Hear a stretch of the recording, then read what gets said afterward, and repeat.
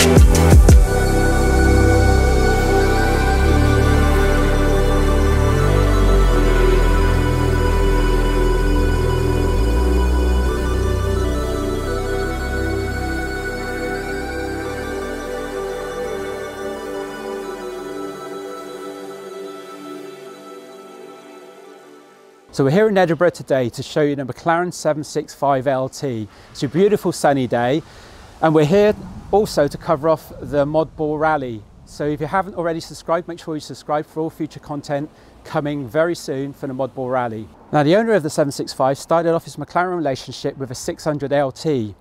He had the 600 LT, would you believe it, for three and a half years. Very keen on the heritage of McLaren he was keeping an eye on the, on the different models that were coming forward and noticed the 675, keeping an eye on the 675.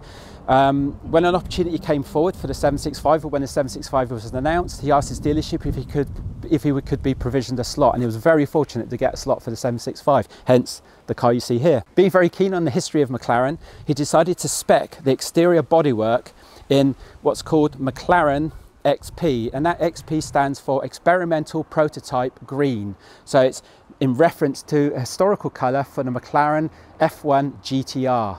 Now the owner of the car used to own a Speciale and a Pista. Very interestingly, he perceives that the 765 is a better experience than those cars certainly a lot more performant. Other cars that the owner currently owns is a Ferrari 355 GTB manual and also a Ferrari Lusso. To give you an appreciation of the options specified for this car, as I've already detailed, it's coloured in experimental prototype green in relation to the F1 McLaren F1 GTR.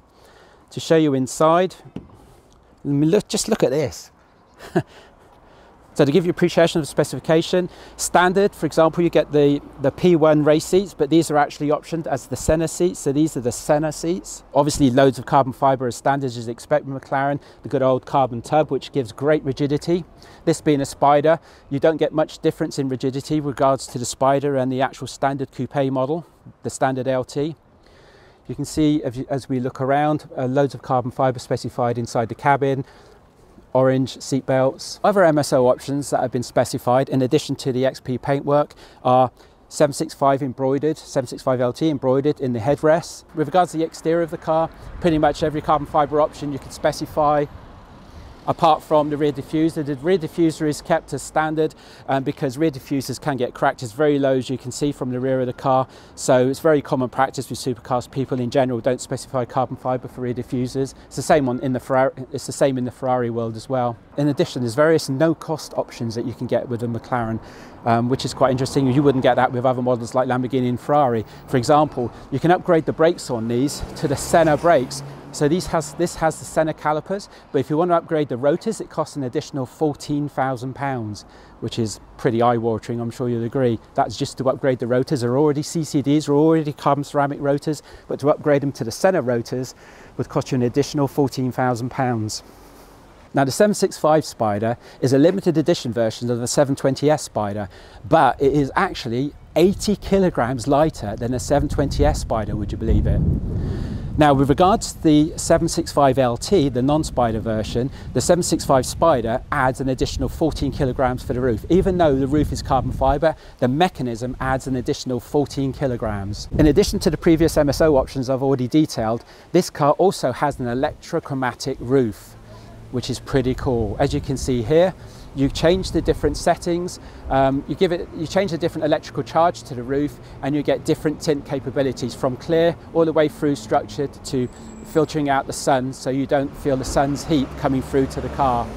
Pretty cool. And the fact that it provides, and the fact that it provides an electrochromatic roof on a folding spider top roof, pretty impressive, I'm sure you'll agree. The owner's just folding the roof, as you can see here. It's remote controlled, which is pretty cool, and this is inbuilt, whereas with mine I've had to use a mod for cars smart top unit to make my, my roof, uh, to make my roof automated, or to, to automate my roof.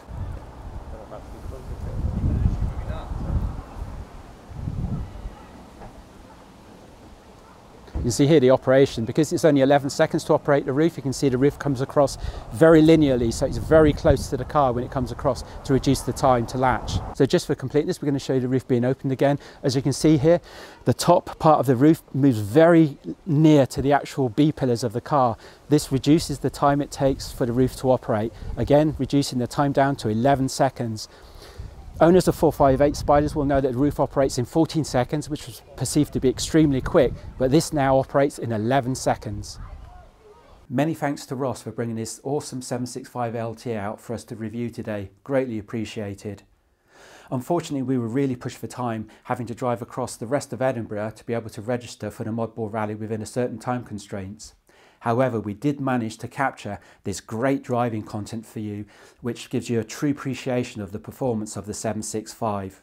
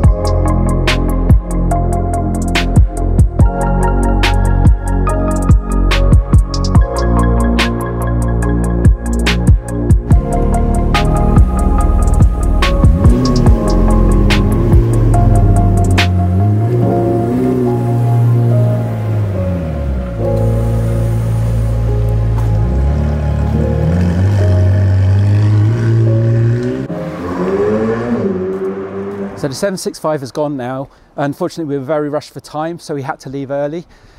Thanks a lot for watching guys. If you enjoyed the video, please give the video a, thumbs up, give it a like. Lots of great content to come. We're spreading our wings now, as you probably noticed. We've, we've done this video on a 765, so we're gonna move across now and we're gonna incorporate a lot of other heterogeneous car brands. So keep watching guys. If you're not subscribed, make sure you get subscribed. Cheers guys. We'll catch you in the next video.